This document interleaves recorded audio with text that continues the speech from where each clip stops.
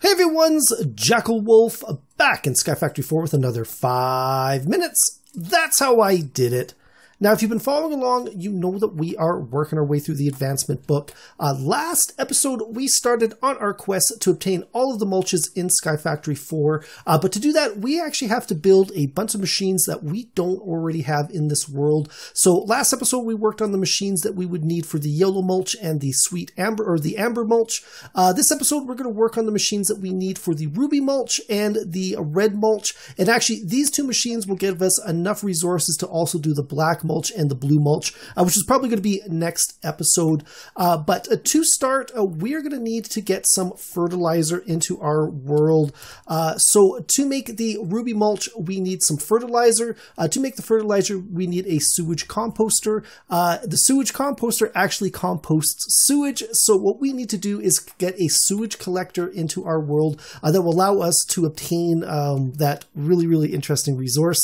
so to start, we're first going to need a machine case. Uh, to make a machine case, it is four iron ingots, four wood planks, and a block of redstone. We're going to take that machine case, we're going to go, we're going to place it into a crafting table uh, with four bricks, a piece of redstone, a bucket, and two pieces of plastic. Uh, now, we were making this uh, quite a while ago when we were working on the, uh, I believe it was the compact chest, uh, when we were you know, making the little latex machines. Uh, so all those items together, they make an animal sewer. So what I'm going to do is I'm going to come over here to my little animal pen, and I've got a little bit of power set up, and we're going to go, we're going to place this down on top of uh, that power uh, source there. As you can see, if we open it up, it has got full power uh, and it will start collecting sewage. So to make this work, we're going to need to use a range add-on. Now, uh, I've got one preset up over here. And if we open up this crafting table, you see it's a range add-on 5. Uh, if you if we look at the JEI, uh, there's a, a, number of different ranges that are available from 1 all the way up to 12. this particular machine here will actually only go up to the 11. Now, I could easily make the 11, like they're not tiered. You don't have to, you can make one without making the others. Uh, so really, you're going to pick the one that's going to make the most sense. Uh, in my case, it is going to be uh, the range 5. Uh, but if we were to make the one, it's as easy as cobblestone, plastic, and glass. Um, you know, the, the highest one, range 12, is, you know, emeralds, plastic, and glass. So they're all, you know, within, uh, you know, really, really easy to make. Uh, but to make this range add-on 5, it's going to be six of the copper ingots in this case, or six of whatever uh, tiered item you need. Uh, two pieces of plastic again, and one glass pane. So we're going to take that range add-on, and as soon as I go and I add this in, you can see it's now taking up all of this area here. Uh, it's including this pig down here and the four animals I've got in that pen. Each adult animal will produce 15 sewage uh, per, I guess, in per tick. Uh, baby animals only produce five, so that's something to keep in mind. Uh, but if we look this, uh, if we open this up, you can see we are getting, uh, what is that? Like, should be about 65 per per tick uh, 75 per tick. We're getting 75 per tick, uh, and this is filling up really, really quickly. So what we need to do now is uh, we need to take the raw sewage from this uh, animal sewer, and we need to actually process it into that fertilizer. So to process the sewage, we need to make ourselves a sewage composter. Now, sewage composter is a machine case, uh, two pieces of plastic, a furnace, two pistons, two bricks, and one redstone. Uh, so very similar to uh, the uh, sewage animal sewer. Uh, we're going to go. We're going to take this uh, sewage composter. We're going to place it within you know distance of the animal sewer. It doesn't make sense to you know locate it far away. I'm actually going to break this block here, and then we are going to go and grab a fluid extraction cable because this is powered up we're going to go and right click on that. And if we open it up, you can see it's already filling up with sewage and it is, you know, turning that sewage into fertilizer uh, really, really quickly. So before I do anything else though, let's go turn that off and we're going to come back over here. Now, the next thing we've got to build uh, to make our mulches uh, is, gets, this is, it's going to get a little bit more complicated again. Um, So what we are going to need to make the red mulch is some HDPE pellets. Now the HDPE pellets are made in a pressurized reaction chamber, which is one of the machines we built last time.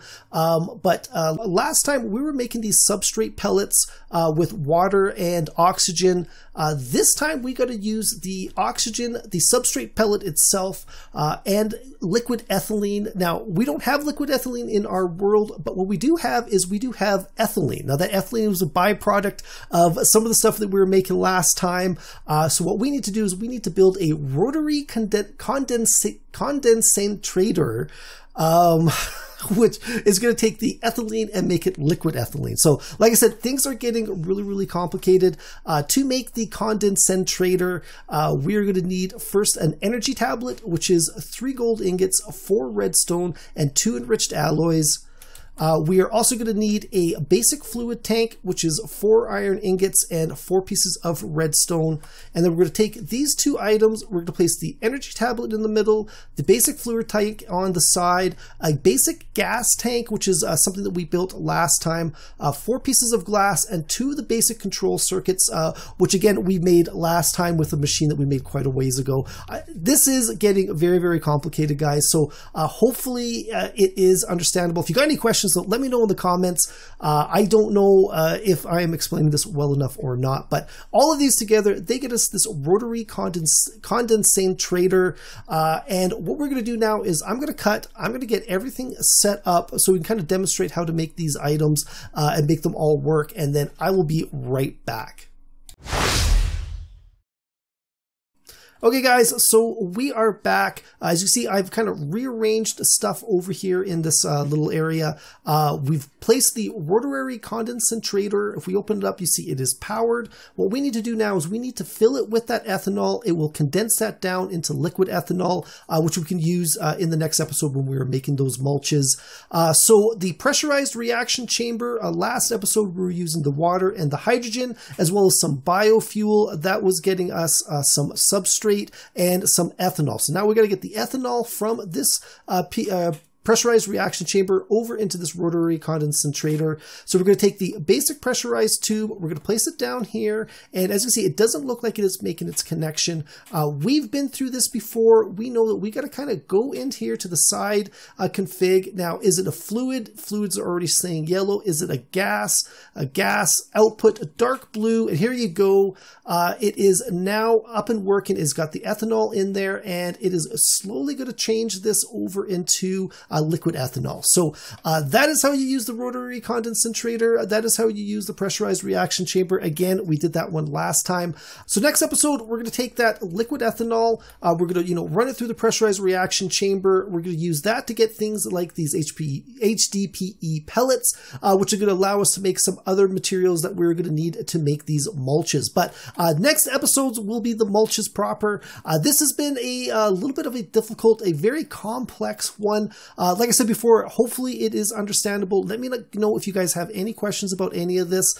Uh, I'm hoping I am explaining it properly, but uh, that is going to be it for this one, guys. hopefully you enjoyed this video. If you did, please think about leaving a like and a subscribe. Uh, you can follow me on Twitter at Jackel Wolf. Uh, also, check out the description below. There will be a link to my Discord page. I would love it if you guys stop by to say hi. Uh, as well, there will also be a link to my brand new Patreon Patreon page. Uh, if you guys enjoy this channel, if you guys enjoy this series uh, and you want to support the channel, you know, stop by, check it out. There's some great perks, uh, one of which is getting your name uh, at the end of all of my videos. Uh, but uh, that is it. I'll see you guys next time.